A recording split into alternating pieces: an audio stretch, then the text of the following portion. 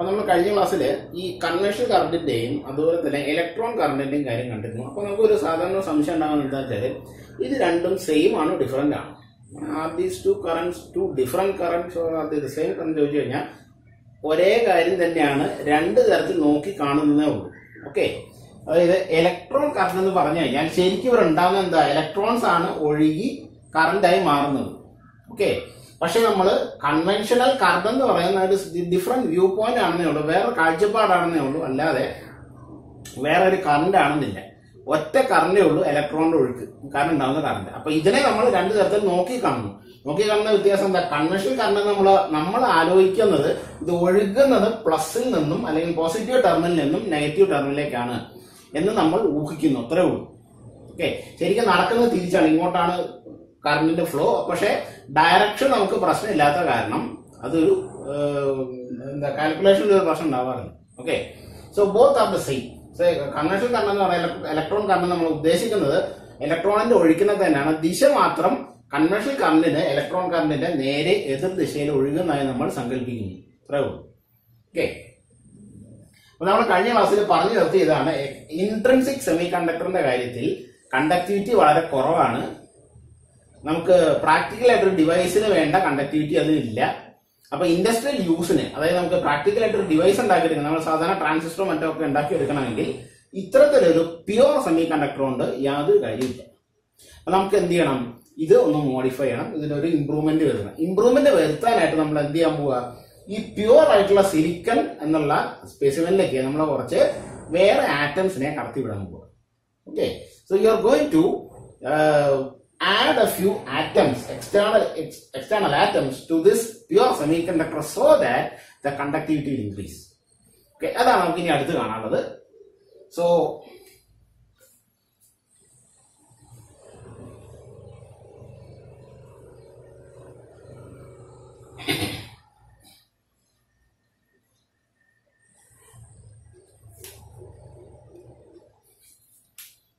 So we are going to talk about what are known as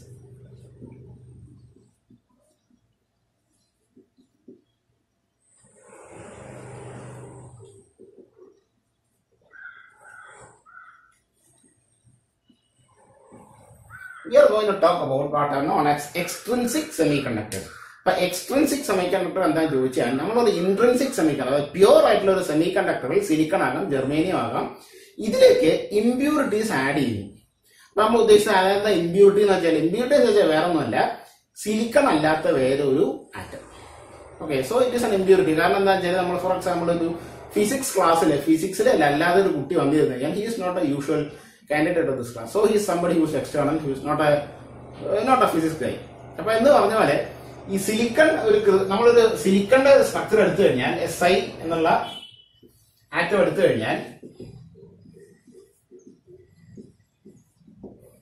So let us say it is like this.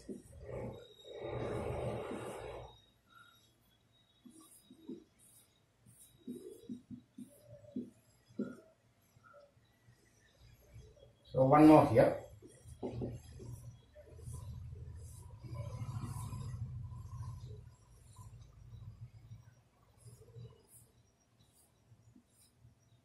Like this ഇതിലിപ്പോ നമ്മൾ നോക്കിയത് this is pure silicon അപ്പൊ ഇതിന്റെ കണ്ടക്ടിവിറ്റിയുടെ കാര്യമാണ് നമ്മൾ നേരത്തെ പറഞ്ഞത്. കാര്യമല്ല കണ്ടക്ടിവിറ്റി ഇല്ല കാരണം ഫ്രീ ഇലക്ട്രോൺസ് അധികം ഉണ്ടാവില്ല. അപ്പൊ നമുക്ക് നമ്മൾ ചെയ്യാൻ പോകണം എന്താ വെച്ചാൽ എന്താ വെച്ചാൽ ഇതിൽ ഒന്ന് രണ്ട് സിലിക്കണ മാറ്റിയിട്ട് അതിന് പകരം ഇതിന്റെ കണ്ടക്ടിവിറ്റി കൂട്ടാൻ നമ്മളെ സഹായിക്കുന്ന ഏതാനും വസ്തുക്കൾ ആഡ് ചെയ്യാൻ പോകും okay so this process of adding an external impurity to a pure semiconductor crystal like silicon or germanium is what is known as doping But doping and the doping is a process of adding suitable impurities to a pure semiconductor crystal so that its conductivity will increase. എന്താ conductivity കൂട്ടിയിട്ട് തന്നെ എന്നാലേ അതിന് practical ആയിട്ട് നിങ്ങൾക്ക് ഉപയോഗം ഉണ്ടാവുള്ളൂ. അപ്പൊ ഇതിനെ വേണ്ടിയിട്ട് നമ്മൾ എന്ത് ചെയ്യുന്നു? ഡോപ്പിംഗ് ഉപയോഗിക്കുന്നു. സോ അപ്പോൾ ഡോപ്പിംഗ് നമ്മൾ എന്താ ചെയ്യാൻ വെച്ചാൽ ഈ ഇരിക്കുന്ന സിലിക്കൺ ക്രിസ്റ്റലുകളിൽ ക്രിസ്റ്റലിലെ ചില ചില ആറ്റംസിനെ മാറ്റിയിട്ട് ഇതിന് പകരം വേറെ ആറ്റത്തിനെ കൊണ്ടിരുത്തും അപ്പൊ നമുക്ക് നമുക്ക് ഉടനെ അടുത്ത ചോദ്യം വരും. എത്തരത്തിലുള്ള ആറ്റംസ് ആറ്റംസിനൊക്കെ നമുക്ക് കൊണ്ടിരുത്താറ് സാധാരണ? സാധാരണ നമ്മൾ ചെയ്യുന്നത് രണ്ട് തരത്തിലുള്ള ആറ്റംസിനെ കൊണ്ടിരുത്താറുണ്ട്. ഒന്ന് ഗ്രൂപ്പ് ത്രീ എലമെന്റ്സിൽ പെട്ട ഇലക്ട്രോൺ പെട്ട എലമെന്റ്സിന് നമ്മൾ ഡോപ്പിങ്ങിന് ഉപയോഗിക്കാറുണ്ട്. ഗ്രൂപ്പ് ഫൈവ് എലമെന്റ്സിൽ പെട്ട എലമെന്റ്സിന് നമ്മൾ ഡോപ്പിങ്ങിന് ഉപയോഗിക്കാറുണ്ട്. നമ്മൾ നേരത്തെ പറഞ്ഞ കാർബൺ എന്ന ഈ സിലിക്കൺ ഗ്രൂപ്പ് ഫോർ ആണ്. ഓക്കെ അപ്പൊ ഗ്രൂപ്പ് ഫോർ എലമെന്റ്സിന്റെ പ്രത്യേകത എന്താ? They are having four valence electrons അല്ലെ? വാലൻസ് ഷെല്ലിൽ നാല് ഇലക്ട്രോൺസ് ഉണ്ട്. നമ്മൾ എടുക്കാൻ പോകുന്ന ഇമ്പ്യൂരിറ്റീസിന് വാലൻസ് ഷെല്ലിൽ ഒന്നെങ്കിൽ അഞ്ച് ഇലക്ട്രോൺസ് ഉണ്ടാവും അല്ലെങ്കിൽ മൂന്ന് ഇലക്ട്രോൺസ് ഉണ്ടാവും. ഓക്കെ അപ്പൊ ഈ- ഒരു കാര്യം നമുക്ക് ഇനി പഠിക്കണം. അപ്പൊ ഇത്തരത്തിൽ ഡോപ്പ് ചെയ്ത് കഴിഞ്ഞാൽ പിന്നെ അത് പ്യുവർ ആണ്. It's an impure semiconductor it becomes an extrinsic semiconductor okay അപ്പൊ ഈ വരച്ചേക്കുന്നത് പ്യുവർ സെമി കണ്ടക്ടർ ആണ്. നമ്മൾ എന്ത് ചെയ്യുന്നു using suitable techniques may be chemical or may be thermal techniques we are adding a few impurities okay അപ്പൊ impurity add ചെയ്യുമ്പോൾ ഞാൻ നേരത്തെ പറഞ്ഞു ഒന്നെങ്കിൽ ഒരു ഗ്രൂപ്പ് ത്രീ എലമെന്റ് ആയിരിക്കും അല്ലെങ്കിൽ ഒരു ഗ്രൂപ്പ് ഫൈവ് എലമെന്റ് ആയിരിക്കും. ഇത് നമ്മൾ ഏത് എലമെന്റ് ആണെന്ന് അനുസരിച്ച് ഇതിന്റെ പേര് മാറുകയും ചെയ്യും. ഓക്കെ സോ അതാണ് ഇതിന് അടുത്ത് കാണാനുള്ളത്. അപ്പോൾ so this is a pure crystal let me say that I am taking a group five element Okay, I'm taking a group 5 element. Uh, let us say uh, which one? ഞാൻ give- ഞാൻ കൊടുത്തിട്ടുള്ളത് I think it is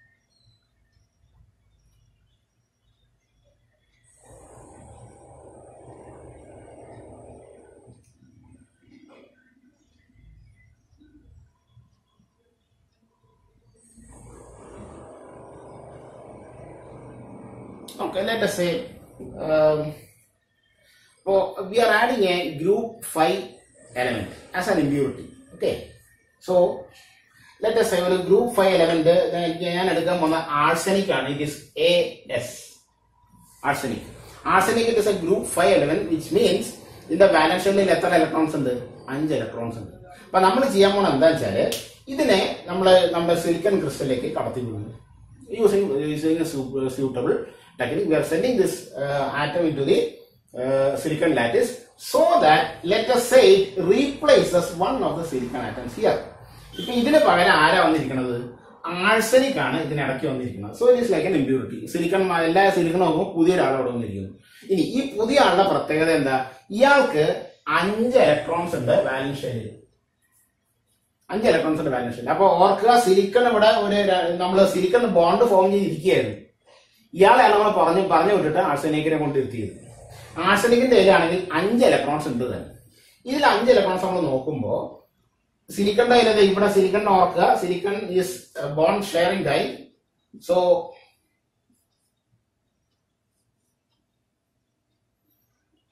ഈ നാല് സിലിക്കണിന്റെ കയ്യിൽ നാല് balance electrons കയ്യിൽ ഇരിപ്പുണ്ട്. അപ്പൊ ആശയ്ക്ക് എന്ത് ചെയ്യിച്ചാൽ കയ്യിലുള്ള അഞ്ച് ഇലക്ട്രോൺസിൽ നാല് ഇലക്ട്രോൺസ് ഇവിടെ ബോണ്ട് ഫോം ചെയ്യും.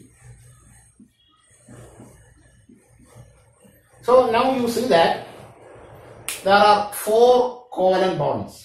പക്ഷെ ആർസനിക്കിന് ഇത് നാലല്ല അഞ്ച് ഇലക്ട്രോൺസ് ഉണ്ട്. അപ്പൊ അഞ്ചാമത്തെ ഇലക്ട്രോൺ എന്താ? അഞ്ചാമത്തെ ഇലക്ട്രോണ് പ്രത്യേകിച്ച് ബോണ്ട് ഒന്നും ഫോം ചെയ്യാനില്ല. കാരണം സിലിക്കണിന് നാല് ഇലക്ട്രോൺസ് ഫ്രീ ആയിട്ടുള്ളൂ. നാല് പേരെ കിട്ടിക്കഴിഞ്ഞാൽ സിലിക്കണായി സാധിക്കും ഓക്കെ സോ ബാക്കി സിലിക്കണൊന്നും വ്യത്യാസങ്ങളൊന്നും ഉണ്ടായിട്ടില്ലതാണ് അപ്പൊ ഇവിടെ എന്താ സംഭവിച്ചത് നോക്കിയേ? ആർസനിക്കിന്റെ കയ്യിലുള്ള അഞ്ച് ഇലക്ട്രോണുകളിൽ നാല് ഇലക്ട്രോൺസ് ബോണ്ട് ഫോം ചെയ്തു. അഞ്ചാമത്തെ ഇലക്ട്രോൺ എന്താണ്? It is a free electron അല്ലേ? Now this you see that this ഈ ഇലക്ട്രോണിന് യാതൊരു തരത്തിലുള്ള ബോണ്ടിങ്ങും ബോണ്ടിങ്ങിൽ ഏർപ്പെട്ടില്ല. ഒരു കോവലൻ ബോണ്ടിൽ ഒന്നും ഏർപ്പെട്ടിട്ടില്ല. This electron is free to move in in this lattice അപ്പൊ നമ്മൾ എന്താ പറയും? ഇവിടെ ഈ ഒരു കേസിൽ ആർസനിക് വെച്ച് നമ്മൾ ഡോപ്പ് ചെയ്തപ്പോ എന്താ സംഭവിച്ചേ? നമുക്കൊരു ഇലക്ട്രോൺ ഫ്രീ കിട്ടി. ഒരു ഇലക്ട്രോൺ ഫ്രീ എന്ന് പറഞ്ഞാൽ അതിന് അർത്ഥം എന്താ? കണ്ടക്ടിവിറ്റി കൂട്ടിയെന്നാണ് സാരം. അല്ലെ? നമ്മളിപ്പോ പറയുന്ന ഒരൊറ്റ ആശ്രയ ആറ്റത്തിന്റെ കാര്യമാണ്. അപ്പൊ നമുക്ക് എല്ലാവർക്കും അറിയാം നമ്മൾ ഡോപ്പ് ചെയ്യുമ്പോൾ ഒരാറ്റം അല്ലെ കയറി ചെല്ലുന്നത് ഒരുപാട് ആറ്റംസ് കയറി ചെല്ലുന്നുണ്ട് അപ്പൊ ഇതിൽ വലിയൊരു സിലിക്കൺ ലാറ്റിസ് എടുത്തു കഴിഞ്ഞാൽ ഇതിൽ പല പല സിലിക്കൺ ആറ്റംസിനെ മാറ്റി മാറ്റി എന്ത് ചെയ്യും? പകരം ആർസനിക്ക് കയറിയിരിക്കും ആർസനിക്ക് വന്നിരിക്കുമ്പോൾ എന്താ സംഭവിക്കുന്നത് കൂടെ ഒരു ഫ്രീ ഇലക്ട്രോണിനെ കൊണ്ടുവരുന്നുണ്ട്. ചുരുക്കി പറഞ്ഞാൽ നമ്മൾ ആർസനിക്ക് വെച്ച് ഈ ഒരു പ്യുവർ സിലിക്കനെ ഡ്രോപ്പ് ചെയ്തപ്പോൾ നമുക്ക് എന്താ കിട്ടിയേ? കുറെ ഫ്രീ ഇലക്ട്രോൺസിനെ കിട്ടി. അതാ നമുക്ക് വേണ്ടല്ല കാരണം conductivity കൂട്ടണമെങ്കിൽ you need free electrons right so now you have free electrons അല്ലേ? So now you see that upon doping a semiconductor crystal pure semiconductor crystal with an group five element like arsenic or antimony രണ്ടും നമുക്ക് ഉപയോഗിക്കാം. You are getting a semiconductor that is having more free electrons. Is having more free electrons അപ്പൊ നമ്മൾ ഇത്തരത്തിലാണ് നിങ്ങൾ dope ചെയ്തെടുത്തതെങ്കിൽ see that you are having more electrons in this crystal now okay അപ്പൊ നമ്മൾ പറയും ഇത്തരത്തിലൊരു ക്രിസ്റ്റലിനെയാണ് നിങ്ങൾ this type of a crystal where you have an excess of electrons is known as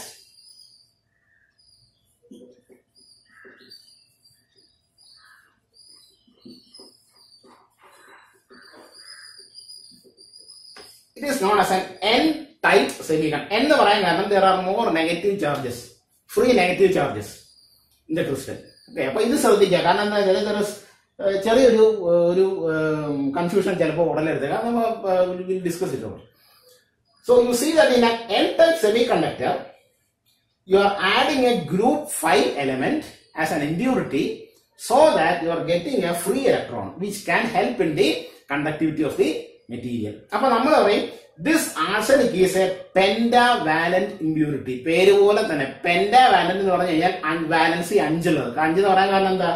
അഞ്ച് വാലൻസ് ഇലക്ട്രോൺസ് ഉണ്ട്. അല്ലെ? So this is a arsenic is called as a pentavalent impurity okay